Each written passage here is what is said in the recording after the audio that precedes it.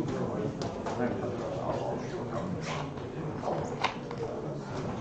morning, ladies and gentlemen. Uh, welcome to the first uh, Saturday session. It will be in English because we have here two special guests. And first of them is uh, Dr. Gerald Handler from uh, Copernicus Research Center in Wrocław, and he will speak about asteroseismology, about space mission, and about how to see the interior of stars. So please. Okay, um, thank you very much. Um, I would also like to thank the organizers for having me here. Um, this is actually a double premiere for me, so this is the, my first presentation in front of any section of the Czech Astronomical Society, and um, it's the first time I'm giving a presentation that early in the morning. Um, um, also, if English is a problem for you, um, I can talk in Polish. Or German. German. Okay, so I'm going to talk about some um, asteroseismic and exoplanet space missions, and um, this is a picture taken from the NASA website where they show all the famous exoplanet missions, and you um, notice that there's something missing, namely um, non-American missions, and there's actually quite a few of them. Um, so um, the first one was MOST uh, from Canada, then uh, CoRoT from France, BRITE from uh, Poland, Austria, Canada, and Plato, uh, which will fly in the future. Um, Cheops, uh, I don't have on here, um, I should say. And um, I will focus actually on two of the smaller ones, so actually those with the smallest telescopes. This is uh, TESS and BRITE. Um, first of all, um, I'm interested in massive stars, and then you always get the question, why are those stars interesting? And um, they are extremely important, basically, for the uh, generation of heavy elements in the universe. Um, massive stars actually recycle the matter, so they get um, young, born as young stars, mostly in open clusters and associations. They live their lives very, very quickly.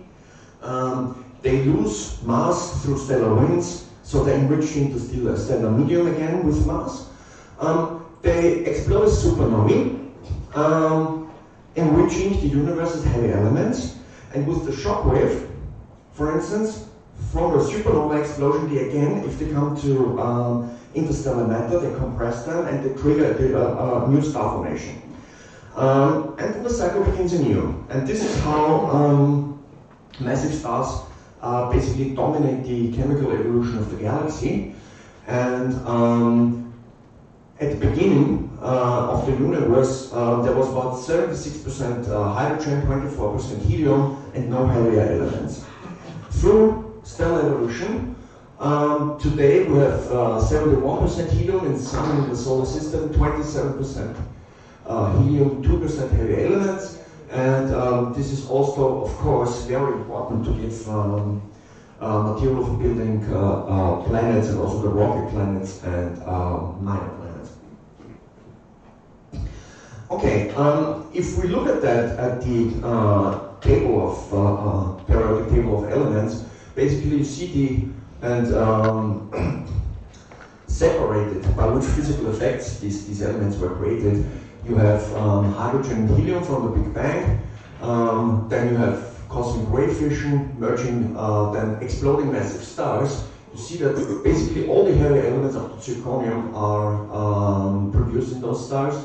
Then you have dying low stars where you have in the interior these, these heavy elements exploding white dwarfs and also um, merging neutron stars that can uh, produce uh, elements up to uranium, um, also gold and so on. Um, if you if you remember the news about the um, gamma ray bursts recently, or last year actually already. Um, so um, to realize or to, to understand how stars produce these heavy elements and the energy in the interior, um, we need to look inside the stars. Um, problem is that the stellar surfaces are not very transparent, so we only receive the, the, the light from the surface of the star. Um, so we have to use some indirect techniques to look in, inside the stars. And what we are doing is actually we're taking advantage of stellar pulsations. And of course, many of you are uh, observers of pulsating stars, so um, you know that they are around. And this is, for instance, an animation of just a radially pulsating star. And um, these stars to have these oscillations, keep these oscillations, they need to have a, an excitation mechanism. This is in most stars in the HF diagram, excuse me, um, the kappa mechanism, which is um, ionization of um, hydrogen or helium or heavier elements, uh, depending on the type of the star. It basically works like a heat engine, like a diesel engine. Um, but there's not only radial pulsation, there are also stars that pulsate non-radially. Um, and this gives uh, rise to distortions of the surface, but also uh, because of the uh, distortions, the, the, geometrical distortions, you also have temperature changes on the stellar surfaces um, that come with some, in some very well defined shapes. Um, this can be described as spherical harmonics. I'm not going to go in, in, into that, but you get a discrete but very rich spectrum of these non-radial oscillations in stars. Um, and the combination and the phase shift basically between the geometric distortions and the temperature changes give rise to light changes, and that's why we can observe them. Um, and what we are doing, um, and yes, um, you also get radial velocity changes, of course, because the stellar surface is, is moving around. Um, basically, the ratio of the amplitude of the light changes and the radial velocity changes that measure already give you an idea of the type of surface distortions you have. We're taking advantage of that. Um, that's a full like um, uh, university lecture how you do that, so I'm not gonna talk about this. And um, pulsations also distort the uh, stellar line profiles. With these observables, we can actually determine what kind of oscillations these are. And then um, uh, we take advantage of the fact that different oscillations actually protrude, protrude into different uh, depths of the star. So um, they have a so-called cavity, and basically the characteristic, characteristic frequency of those oscillations, if you know which one it is, gives you some information about the physical um, state in the region where these modes or these, these oscillations occur. This is very, very similar to terrestrial seismology, where we measure um, Earth uh, uh, waves of earthquakes at different measuring stations over the globe, and then we can calculate what material that wave produced through. We do the same with stars. Um, obviously, uh, in a more primitive way because we don't have that much information, um, but this is how it basically works. And what we're doing then is that, or what we see is that different stars have actually different types of these oscillations. So smaller stars have more rapid oscillations, large, larger stars have uh, uh, more irregular variations, uh, larger hot stars have regular variability with longer periods and so on and so on. And what we are doing is we invert mathematically that signal and compute or refine the, the structure models that we have. Um, this is actually um, basically also similar to um, ultrasonic sounding. So what's well, what you do in prenatal diagnosis and so on, um, just with uh, different techniques. Um, for that, you can already imagine we want to have like many, many, many um, oscillations observed because the more of these oscillations we see, the more information we're getting, the more uh, exactly we can uh, determine what's, uh, what the interior of the stars look like. Problem is, if you observe from the Earth, um, um, fortunately for us as humans, but unfortunately for uh, photometry, there's the Earth's atmosphere that um, um, modifies the light that we are receiving from the stars, and if, this is called mostly um, scintillation. Um, encoding of the stars. And um, there's also um, some other effects that uh, get into our measurements, like variations in sky transparency, if you have like different types of air or, or dustiness in the air, or you have like thin clouds and so on. Um, there's atmospheric extinction, which changes the light of the star as it moves on the sky. Um, the sky background may, may change when the moon rises, the moon sets, and so on. We have to get rid of all of that. Um, and this is actually um, a problem for, for photometry, to get uh, accurate photometry, and a comparison that uh, actually Derek Buzasi has done uh, from the US is that uh, with a 0.1 second integration with a 10 meter Keck telescope, you get a, measurement precision of about 3.4 millimagnitudes. Um, with the same integration time with a 5 centimeter space telescope, you get 0.7 millimagnitudes in 0.1 seconds. So you have a telescope that's uh, 200 times smaller, and you get a precision 5 times larger. So you have a 3 order of magnitude improvement. Uh, and that's why you want to go to space. So um, here's just the, uh, yeah, uh, actually a, a me measurement of, of, of, scintillation. Okay, and now my presentation goes completely crazy. Uh, I do not know why, because now here it looks perfectly fine. Uh, okay, I don't know. Um, Marek has already shown that yesterday. Um, he just had a more up-to-date version of that slide, that um, the number of exoplanet discoveries um, had two peaks, or actually peaks due to uh, the Kepler mission, uh, two in 2014, two in 2016, when verified planets were, were released. Okay, um, that was lucky because I didn't really know what I was doing. Um, okay, um, with asteroseismology, um, you can also determine some basic parameters actually of the host stars that uh, uh, for planets and this is also something that uh, from, came from the Kepler mission. So people have actually computed uh, um, the errors in stellar parameters they determined from this asteroseismology of cooler stars. And um, they concluded that on the average they can get stellar radii with uh, an accuracy of 1.1%, um, masses with 3% uh, uh, accuracy and ages with 14% accuracies. Um, That, of course, means that um, if you measure the planetary transit, you can also get the planetary radii to a similar precision. What you cannot get is the planetary masses using the radial velocities for that. Um, but um, many of the important parameters can actually, of planets and their host stars, can be um, determined from asteroseismic investigation of the host stars. Um, now, small um, um, missions, and I would like to uh, say a few words about BRITE Constellation.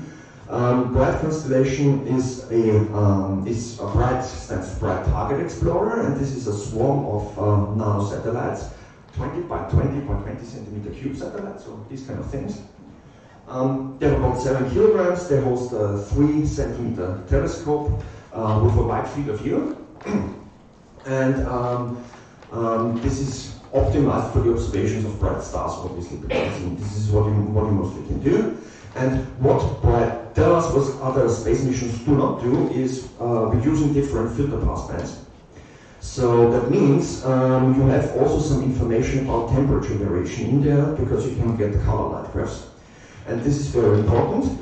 And then there are three partner countries. So the, in order of um, the acquirement of funds, um, Austria started the project with BRITE Austria and UniBRITE, then Poland uh, joined with BRITE Hevelius and BRITE LEM, um, and uh, then Canada joined with BRITE Toronto and BRITE, Montreal.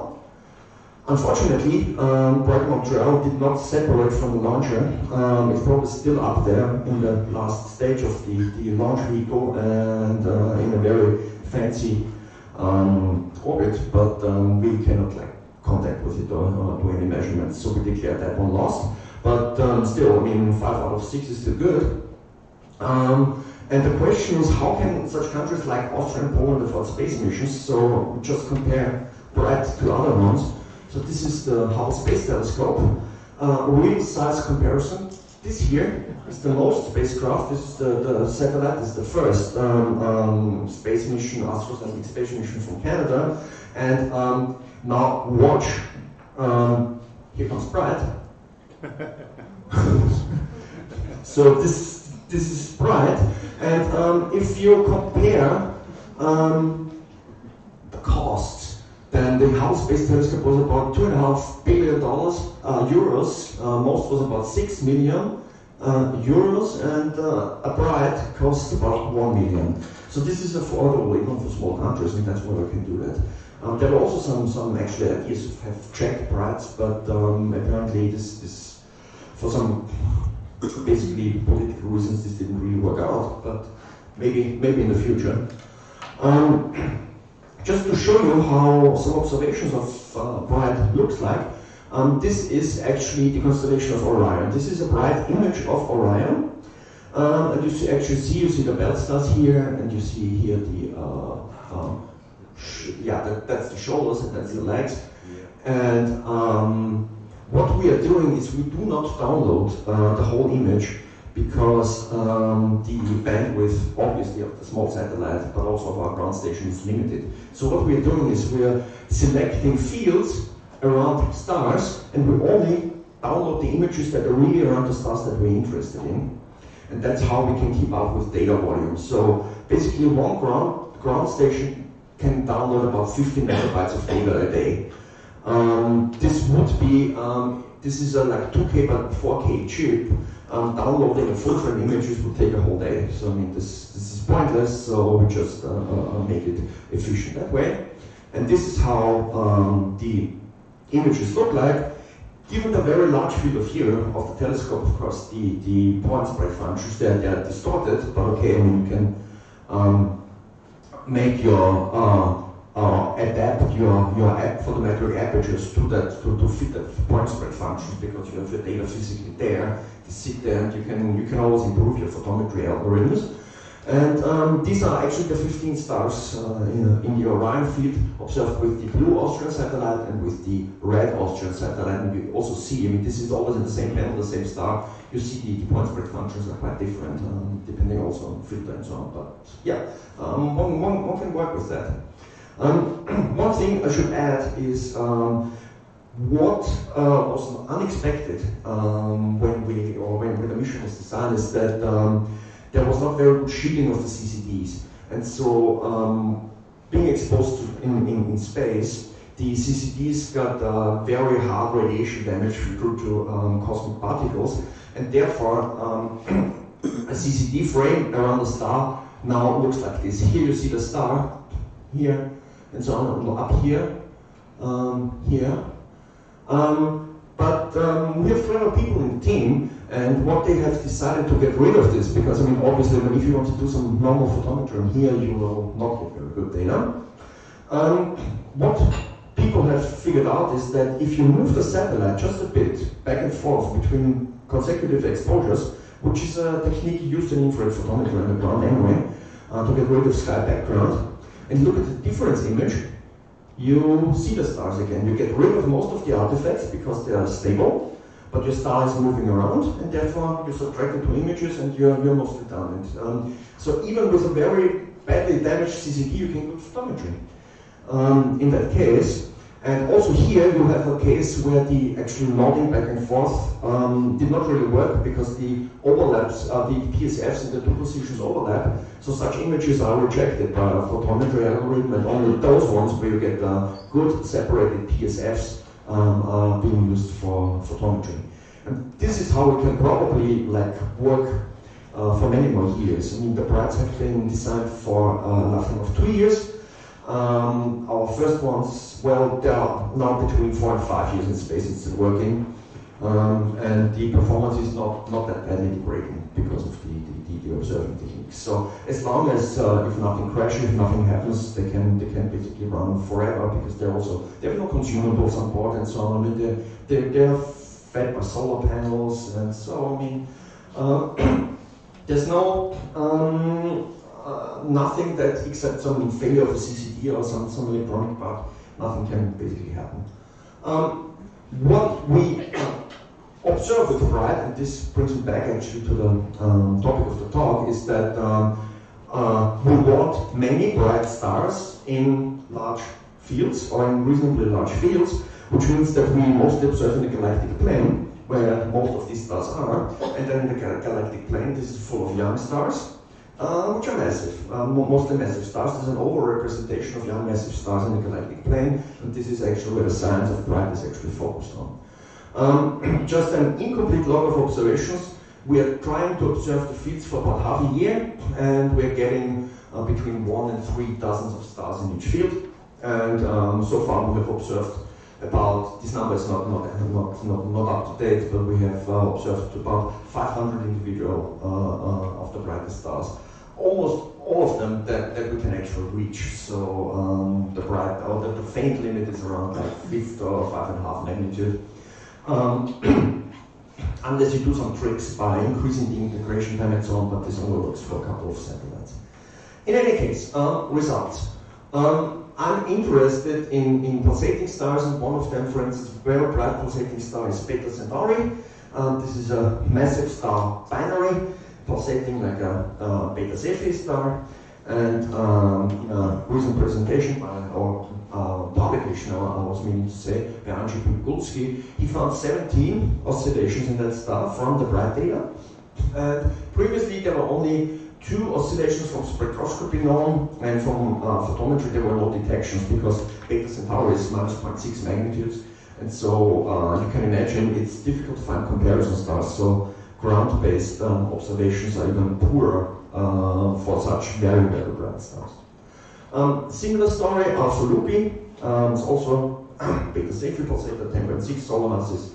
Um, 14 pulsation modes detected before uh, bright constellation, there was only one pulsation uh, one um, my favorite star, uh, Eridani, that we have observed in, intensively um, at the beginning of this uh, millennium. Um, that's uh, also a 10.6 uh, uh, solar star with a very rich pulsation spectrum. And um, we also uh, increased the uh, number of uh, uh, oscillation frequencies, especially at low frequencies, um, um, intensively, because also um, periods around one day are also very, very difficult to be observed from the Earth, again, from the atmosphere, and the satellite observations are more stable there. So we can find long periods in those stars as well. Um, as a price, Sigma Scorpii, also one of those stars, uh, it's a binary 14.6 and uh, 9.5 solar masses. Um, the star classically was observed as a, with an amplitude of about 15 millimagnitudes, relatively high amplitude pulsator. When I looked at it again, um, with an automatic telescope from the ground, the uh, oscillations, amplitudes have had collapsed to one fourth of what they were before. Um, and uh, with BRITE, um, this was confirmed, but also new oscillations were actually found um, because of the increased sensitivity. So I mean, you, you see, you can you can detect oscillations amplitude about 0.2 millimagnitudes. Um, and this is actually not our best data. Um, so this is just, just some, some, some, some average data set. Interesting things if it turns about the interior of the star. This is a not so massive star. This is uh, HD blah blah blah. Um, uh, 3.0 and 0.6 and unknown mass um, uh, triple system. Um, with the oscillations, we could actually determine the interior rotation rate of the star near the core. Um, and it turns out the interior rotation rate is about a year. Um, but with spectroscopy, of course, you can measure the surface rotation. And it turns out that the stellar surface is synchronized actually with the orbit of the uh, 0.6 solar mass companion and rotates with a period of three days. So the, stars, the star rotates 100 times slower in the interior than in the exterior. And um, the, uh, this is something unexpected from uh, uh, stellar evolution, because what we expect for those stars is that the exterior expands and the interior contracts, and so the exterior is supposed to slow down and the interior is supposed to speed up. What we see here is just the other way around we have yet to understand that. Um, a short um, digression, not pulsating stars, but um, does everybody know what heartbeat stars are? So these are eccentric um, ellipsoidal uh, uh, binaries, so where we have uh, two stars, where one of them um, is distorted by the gravitational pull of the other one, so ellipsoidal variables. But um, if you have an eccentric orbit, then of course the um, deformation changes actually over the orbit. When the companion is far away, the tidal forces are smaller. When it's close, they're stronger. And therefore, during most of the orbit, um, you don't see much of the ellipsoidal variation, but when the stars are close together, you actually see some spectacular features in the light curves, um, depending on, um, on the exact uh, configuration of the system. So, um, these stars have been uh, discovered actually by the Kepler Space Telescope. And um, surprisingly, we also found something that with BRITE. This is Iota Orionis. Um, this is a phase diagram, and here's the BRITE light curve, and actually you see this heartbeat signaling here. Um, the careful observer will have noticed that the period that I'm quoting here is very, very close to a lunar month. Um, so one can, can, of course, get suspicious that there could be some, some, some um, um, lunar stray light or something going on, but of, of course we also have radial velocities, and they show actually a variation with the same period. So this is not that, this is actually some kind of a heartbeat signal, and this is actually the first massive star that had been uh, discovered to be a member of those, of that group. And um, even better, um, if you look at that, and this is just um, frequency spectrum, if you look at those, uh, if you remove the heartbeat signal and, and, look if there are some other periodicities in there, there are a couple of those. And these are actually integer multiples of the orbit. And this is a sign of that, um, that these oscillations are actually triggered by the tidal interaction with the companion. It periodically gets, so to say, a gravitational hit gets distorted and then uh, um, fades out again. And because of this periodic excitation, um, you get forced oscillations in that star. So it's very interesting, and we have uh, actually more of those. Um, uh, we're still working on them. Um, very interesting is also uh, Zeta Puppis, which is the brightest, uh, uh, the, sorry, most massive star that we observe BRITE. Um, and uh, um, spectroscopy, this is a second magnitude star. So the spectroscopy actually mostly came from the SASER um, collaboration. Um, uh, this, this is a, a, spectroscopic network in the southern hemisphere um, um, observers with small telescope, 20, 30 centimeters, could, could, could do that. And um, this is the BRITE light curve, and you see some, some, some, some, some uh, oscillations going on, not very regular. Um, and this is work by um, Tahina Ramazola um, from Canada, now in the US. Um, if I have to mention his name again, I'll just call him Tahina.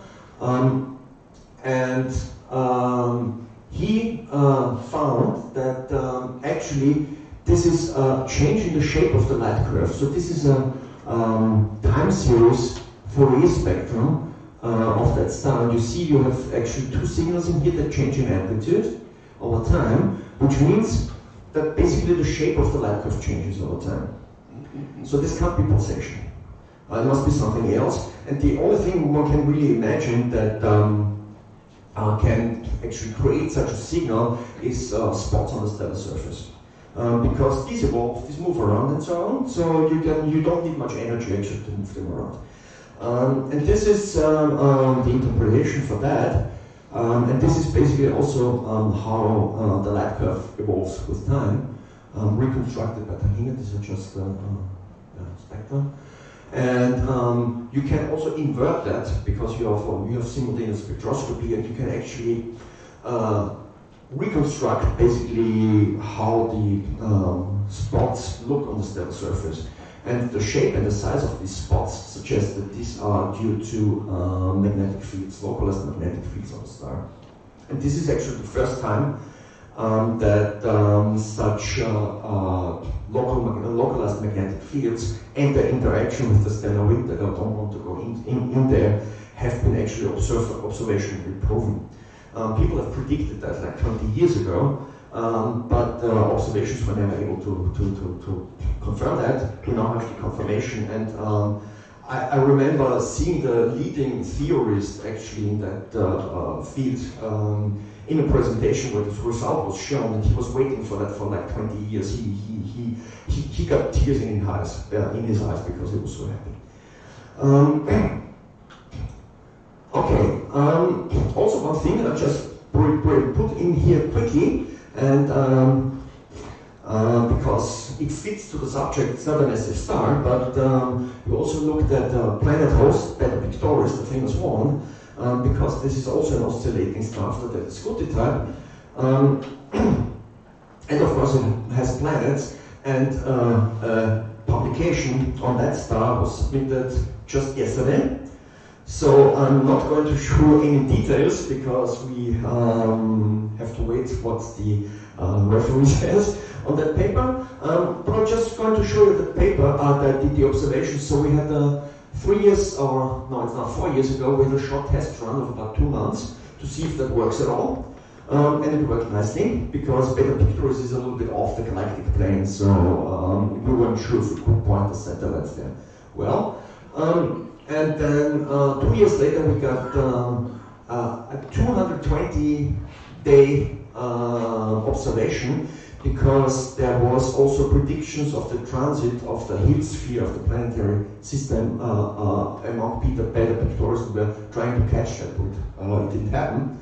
Um, and then last year we got another uh, uh, half-year data set, and all these data sets are discussed in this publication. Um, yeah, I'm not going to say anything about that. Um, how am I with time? Five? Okay, then I'll just say a little bit about TESS.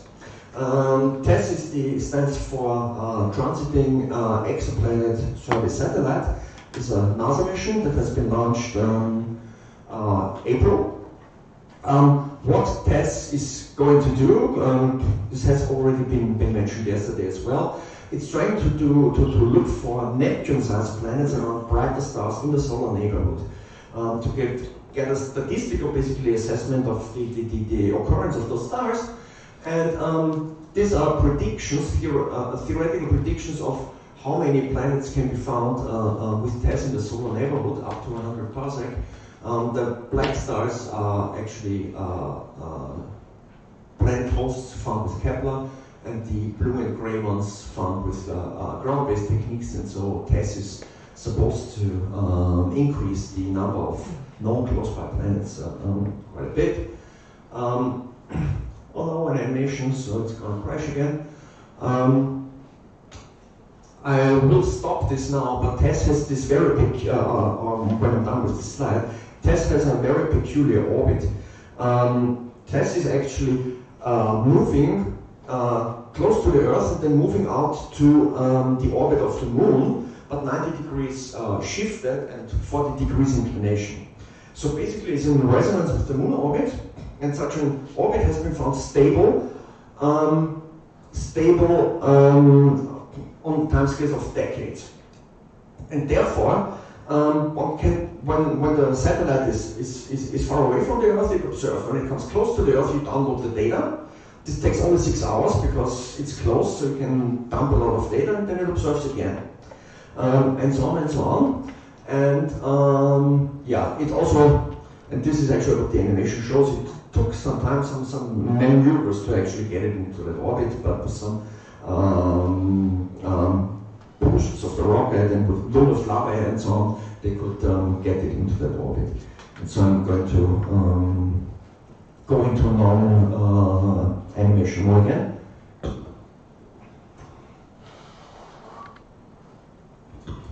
Okay, um, there are four telescopes in TESS. They are aligned to observe strips of 24 degrees times 96 degrees in the sky. Um, and this is actually the size of one camera in comparison to a respectable human being. Um, and uh, yeah, so this, this is rather small mission again, it's at 10 centimeter telescopes. And what it does is that um, it, look, it, it looks up down to 6 degrees to the ecliptic plane so that the moon and the sun and the planets don't get in the way. Um, and uh, it has uh, one camera centered around the ecliptic pole in a 24 degree field, so that means you can actually observe it all the time. And then the other fields, of course, when the satellite moves position, um, are observed for shorter times. And this is how it looks like, so you are getting some uh, fields on the sky that will, most of them will be observed for 27 days, some of them for 54 days, uh, some of them for 81 and so on, and you have a continuous viewing zone. And the idea was to have this continuous viewing zone uh, aligned with the continuous viewing zone of the uh, James Webb Space Telescope tool for simultaneous observations. But JWST, of course, won't fly until, I don't know, 21, 22 or so on, so um, it's still not really defined. Uh, first light images, uh, uh, Mark has already shown that yesterday.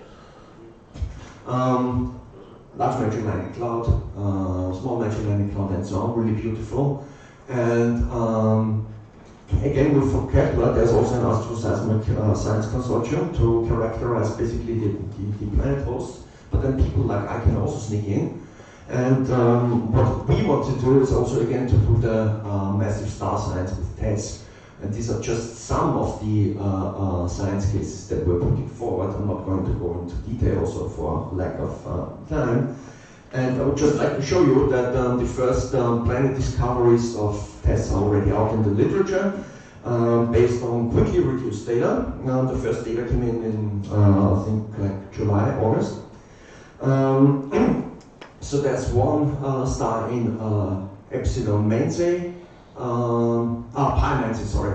Um, then uh, a nearby mm, with a star, and also an uh, uh, yeah, uh, also Lomas close by star. Um, there are also some kind of I should say, pirate um, um, publications because people have um, used data that were not uh, supposed to be for publication, have just taken them and written their own papers, and so um, the TESS um, team was not happy about that. But uh, yeah, um, just a question of policy. in any case, observations up to date, so TESS is observing the first five sectors, observing sector five right now. Here are the pointings. And um, I looked at it this morning at the TESS website at the uh, MIT. It's not up to date, so there's only the first four sectors still here um, on that uh, uh, plot. This is the galactic plane, so you see where these are located. This is the continuous worm zone in the south. And I will just stop with a slide that um, I have actually stolen from a telecom. Um, that is the precision that TESS is uh, working on right now. Um, this is some, some observations. Um, the uh, goal was 60 ppm systematic error residual for the brightest stars. Um, the best observations go to uh, 30 parts per million, and the requirement for 10th magnitude star was 230 parts per million, and the best data 200 ppm, so it's, it's working quite well, and we're looking very much forward to the data. First data release um, official data release will actually come next week, probably by the end of next week. So uh, we can wait. Thanks.